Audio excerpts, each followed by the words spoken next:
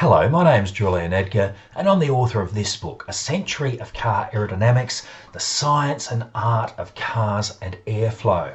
What I want to cover in today's video is the 1975 Porsche 924.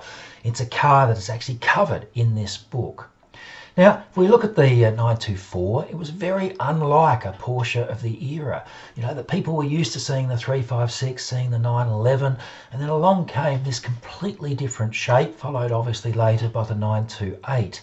Now, the 924 wasn't actually intended to be a Porsche, it was intended to be a Volkswagen. And Porsche developed it for Volkswagen using a lot of Audi and Volkswagen mechanicals. Uh, but at the last minute, Volkswagen said, no, we don't want it. Uh, we think it's going to be too expensive to sell as a Volkswagen. So Porsche said, all right, we'll pick it up.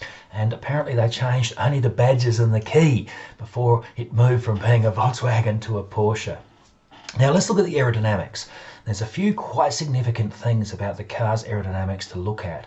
Firstly, aerodynamically, it was very good, except in one particular aspect. It was very good in terms of having a very low front and very small cooling air intakes for the time. These days we look at it and it just looks normal, but at the time the cooling air intakes were very, very small, which helped reduce drag. It's beautifully rounded. There's nice transitions from the, the bonnet or the hood to the windscreen and from the windscreen to the roof. And it's also rounded at the back, something we're going to come back to in a moment. Now, the drag coefficient, the CD, was only 0.36. And you might say, only 0.36? Isn't that terrible? Mid 70s, that was extremely good. And you've got to be very wary about a lot of old drag coefficients. I see stuff being published all the time that's simply incorrect. Whereas this is a properly measured one. And 0.36, as I said in the mid 70s, was, was really very good drag coefficient. However, when the headlights went up, so did the drag coefficient, going up to 0.38.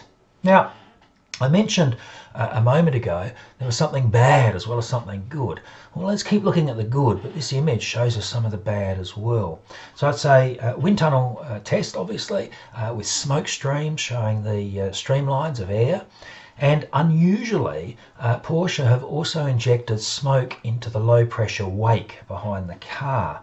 Now the wake, that turbulent air behind the car, the more energy that goes into the wake, typically the higher the drag.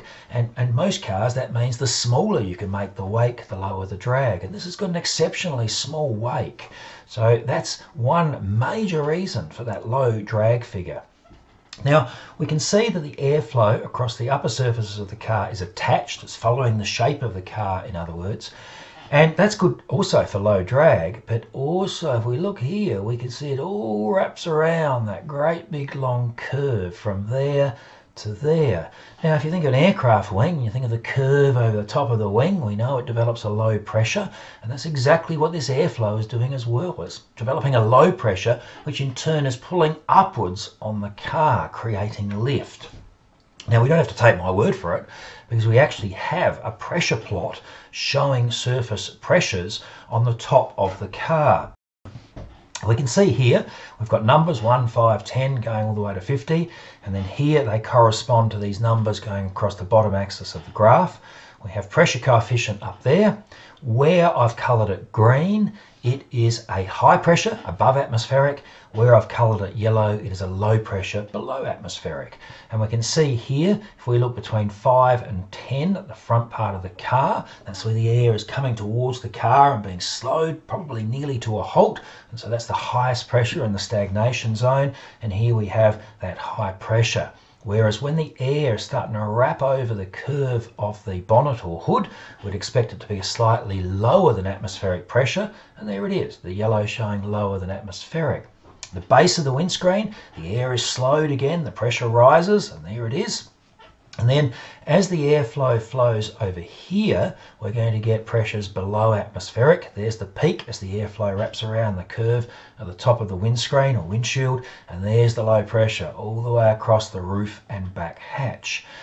Now, if we look at pressures acting on a panel, we can just draw a right angle coming up from that panel and get a feel for where the force is acting. So here, if we draw an arrow going straight up, well, that's going to be lift. But here, if we draw an arrow coming out at right angles from the panel, we can see it's angled backwards as well as upwards. So that's going to be causing some drag.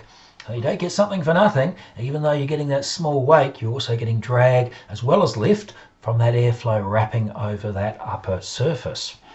Now, Porsche actually published data showing the lift values, showing the lift figures for the 924. So along the bottom axis, we've got speed in kilometres an hour. On the vertical axis, we've got lift in kilograms, kilograms force, which is exactly the same as the as what you would read if you, you had a, a scale you a spring scale and you pulled on it, and what that spring scale showed in kilograms is exactly the same as the kilograms force being shown here. Now the blue line, this one here, shows front lift, and we can see it certainly rises with speed as you would expect. We can see at a uh, 100 kilograms, 100 kilometers an hour, it's about 8 kilograms lift and by the time it gets to 180 kilogram, uh, 80 kilometers an hour on the front axis, front uh, axle, it's over 25 kilograms of lift. Now you might say, well, that's not much. 25 kilograms, what's that? 50 pounds, 60 pounds, something like that. Not very much. But the thing with aerodynamic lift in cars is it disproportionately affects the stability of the car. Now, there's a couple of reasons for that. One is as you reduce vertical load on tyres, grip goes down quite fast. And the other one is because these figures aren't static, they're, they're oscillating, they can really upset the car.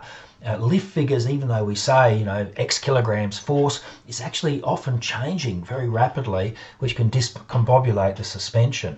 But look at the back, the orange line. Now that really is a lot of lift. That airflow wrapping over those rear curves. We can see at uh, say 160 kilometers an hour, 100 miles an hour, we have 45 kilograms of lift at the back.